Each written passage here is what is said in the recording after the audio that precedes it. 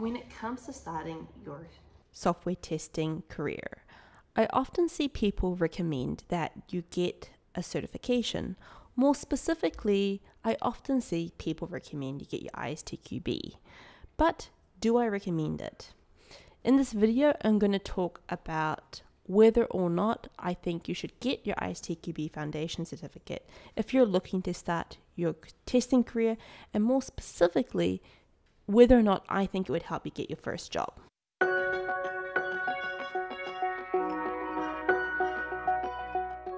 I think getting your ISTQB Foundation certificate is a form of signaling to potential employers. Now, whether or not it's an effective form of signaling is up to the recipient of that information. Briefly, signaling is a way to convey information and announces your intention. So you then may assume that by getting your ISTQB Foundation certificate, you have tried to inform someone that you are serious about testing your starting your testing career, you know some of the basic terms, and so on. I asked some people on Twitter and on LinkedIn, so social media, self selection bias, about what someone who has gotten their ISTQB Foundation certificate, what that signals to them. And here are the results. I'll also link this in the description below. When I was going through people's comments, I realized there were a few things that people kept on saying. Here are a few of them. First, some people pointed out that they found it interesting that some people or some employers still want it. The thing is, at least here in Sweden, most employers don't actually ask for a testing certification, even though some training providers may claim it.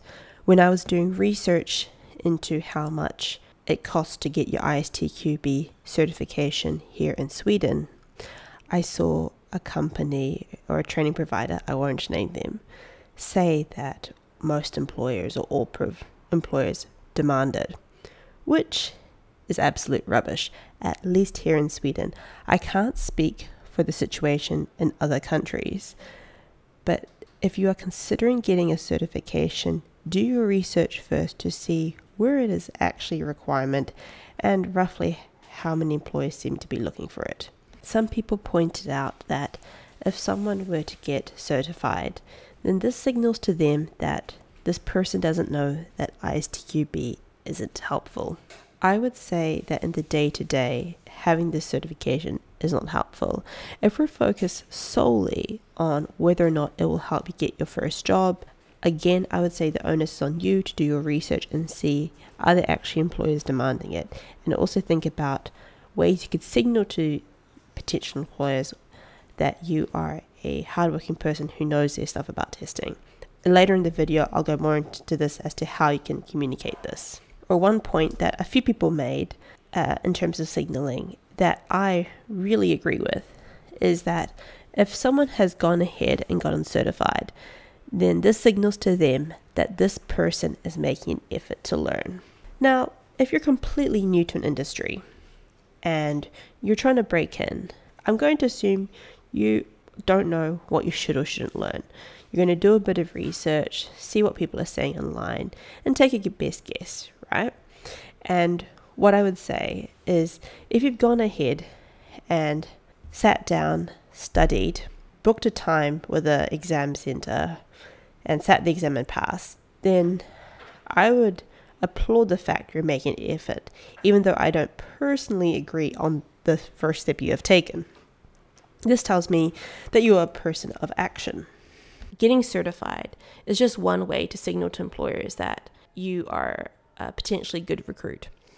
So, if we're going to think about the message we want to convey to a potential employer, let's just assume we want to say, I'm a person who wants to learn more about testing. I've started to learn a bit about testing. I'm a hard worker and I take initiative. That's the message. Now, how else can we convey such a message? ISTQB Foundation Certificate, uh, getting that is one way to uh, communicate that, but there are other ways. You could create a test portfolio or a test automation portfolio by showing your work. I will link that in the description box below as for my video on that.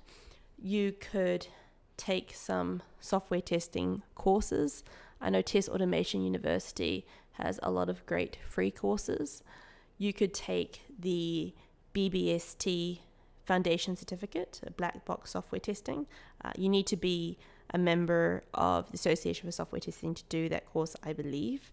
Um, but that's also another viable option. The thing I want to highlight here is that you have choices as to how you signal to employers that you are someone worth investing in. Some employers will value this very highly and they think that you must get the certificate or that you must be certified, and that's on them. But one thing I'd like to say is just because a requirement is stated in a job ad does not mean it's actually a requirement. Sometimes it's part of a wish list. However, unfortunately, don't always know which requirements are requirements and which requirements actually matter to the person hiring. I hope I've given you some food for thought, and I'd love to hear about your experience in getting certified and whether or not that has helped you.